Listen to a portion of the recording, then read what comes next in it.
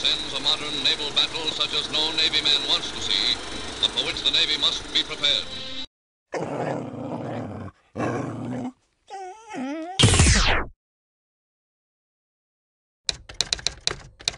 Let me tell an interesting story about the R-12.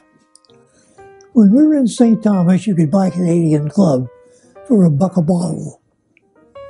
And the, the gunnery, or said the best way to hide that stuff was either in the forward torpedo tubes or in the five inch gun.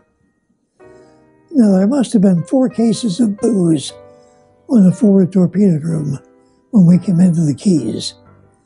But of course, customs came aboard then. And so Shelby fired the torpedo tube, and you could hear the glass when it went out.